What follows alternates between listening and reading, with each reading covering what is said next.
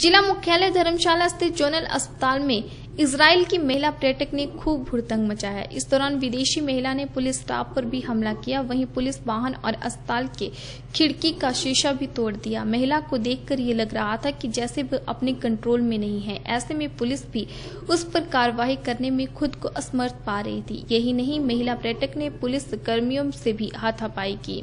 Zonal अस्पताल में महिला पर्यटक को प्राथमिक उपचार उपरांत टांडा रेफर कर दिया गया। पुलिस मामले की जाँच में जुटी है। जानकारी के अनुसार सुबह मैकलॉडगंज पुलिस की टीम जब गश्त पर थी तो गश्त पार्टी की सूचना मिली कि एक विदेशी महिला हुड़दंग मचा रही है, जिस पर पुलिस टीम ने तुरंत मौके पर पहुंचकर महिला पर्यटक को पकड़ा और गाड़ी में डालकर जोनल अस्पताल पहुँचाया। मैकलॉडगंज से धर्मशाला आते समय महिला पर्यटक ने पुलिस कर्मियों के साथ भी हाथापाई की। वहीं एक महिला पुलिस कर्मी को नोच दिया।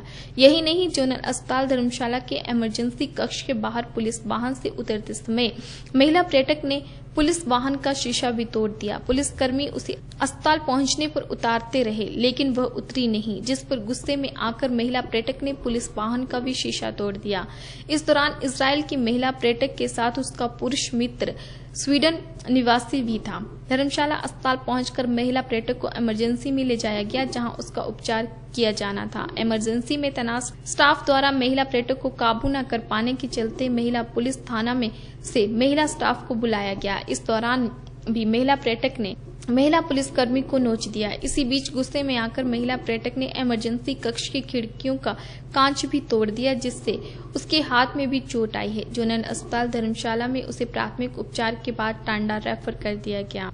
महिला पुलिस कर्मचारी ने बताया कि विदेशी महिला बेकाबू होने के चलते उसने पुलिस कर्मचारियों पर हमला किया जिस कारण पुलिस कर्मियों को भी चोटें आई हैं और साथ ही उस विदेशी महिला ने अस्पताल की खिड़की व पुलिस की गाड़ी का शीशा भी तोड़ दिया। ये इसने जो अंदर लेडी है इसने पहुँच मार दी पकड़ते पकड़ते ना ये वायलेंट हो गई। बाजू में भी काटा हुआ है बाजू में काटा है गले में काटा है जो मैक्लोडगंज का स्टाफ आया उनको भी काटा हुआ है ये मैक्लोडगंज वालों गाड़ी का शीशा निकाल दिए जो सुनसे बाद शीशे तोड़ दिए इसने यहाँ पे। जोनल अस्पताल धर्मशाला के सीनियर मेडिकल सुप्रिंटेंडेंट ने बताया कि पुलिस कर्मी एक विदेशी महिला को जूनियर अस्पताल में लेकर आए हैं। विदेशी महिला ने पुलिस कर्मियों को काटा है और अस्पताल के शीशे तोड़ दिए हैं।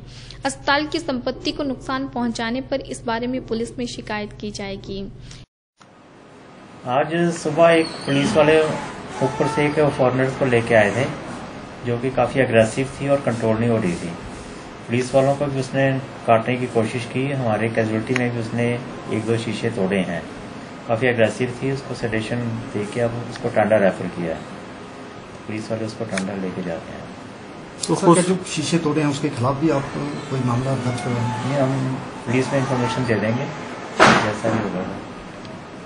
थैंक यू सर जिला कांगड़ा एएसपी दिनेश कुमार ने बताया कि मैकलॉडगंज पुलिस को सुबह एक विदेशी महिला के बारे में सूचना मिली थी, जिस पर पुलिस टीम उसे जोनल अस्पताल लेकर आई। विदेशी महिला की हालत ठीक नहीं है तथा वो अपना पता भी नहीं बता पा रही है। मामले की जाँच की जा रही है।